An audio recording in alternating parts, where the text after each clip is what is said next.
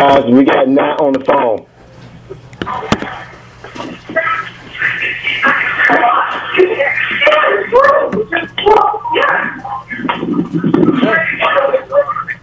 We got Nat on the phone, fellas. Hey, Nat, congratulations. Thank you guys. Thank you so much. What are your thoughts? What would be your thoughts about coming to the Giants? Did you have much interaction with them throughout the process?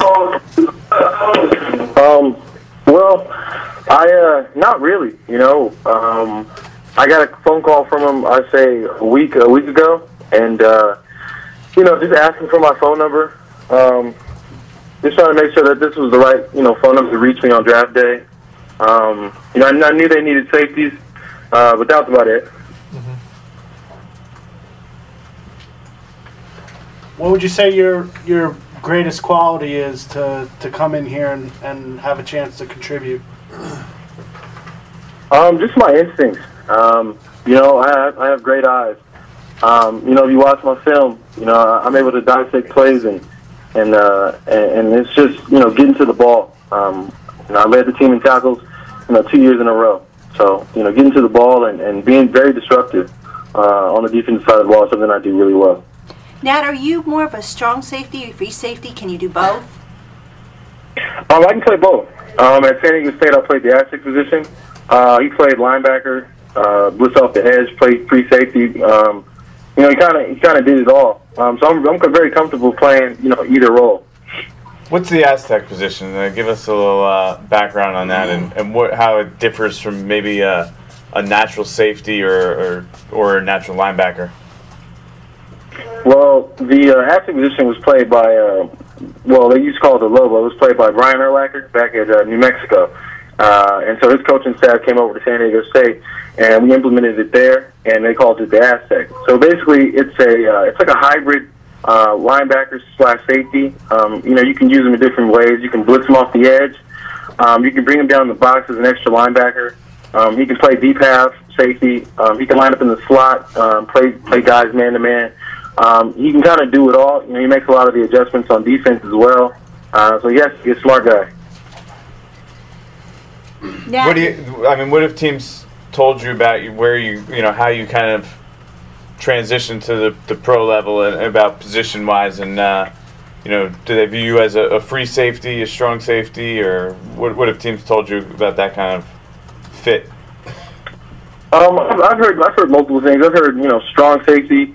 Um, I've heard nickel. Um, I've heard free safety. So I've kind of I've kind of heard it all, honestly. Nat, your bio said that you didn't have a lot of, uh, of experience on special teams. Was that by design? Is that something that just you know you wanted to do, or you know, what's your feeling on that?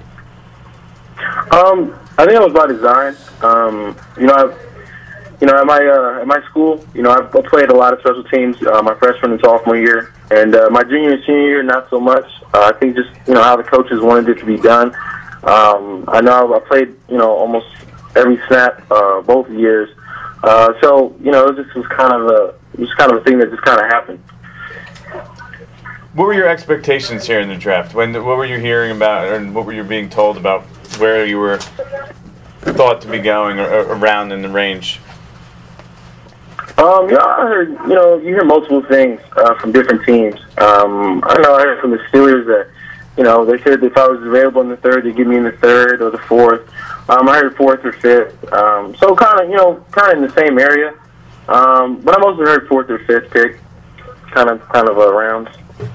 Nat, I saw I saw some of your tweets right after you got picked. It seems like you have a little bit of a chip on your shoulder. Do you do you play like that? Oh, absolutely. I mean, if you look at my film, um, I try to be the, the biggest, the baddest dude out there every time. Uh, it's just the way I play, um, just the way I was taught to play. Um, I, I just I just play with, with a lot of emotion, with a lot of anger, um, and I, I try to take people's heads off. That's, that's what I do, and, and I think that's how the safety position is supposed to be played. Now, do you uh, obviously you're not the biggest guy in the world. Do you overcompensate your lack of size uh, by aggressiveness and, and intensity?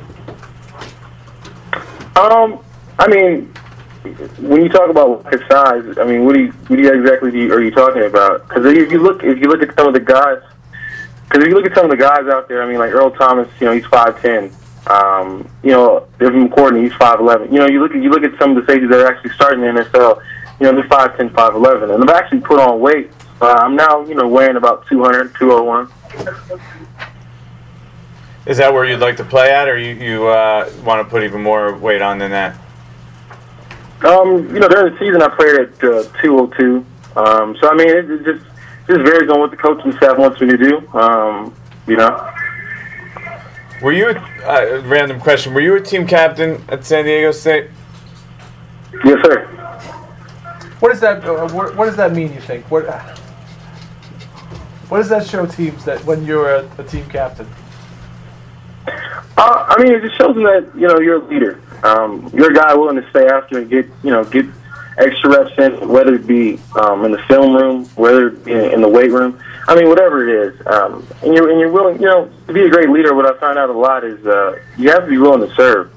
Um, you know, like I did stuff like you know setting up team barbecues and and paying with my own money, stuff like that. You know, you just gotta you gotta be willing to get get the guys together and, and willing to do it and, and willing to give your time.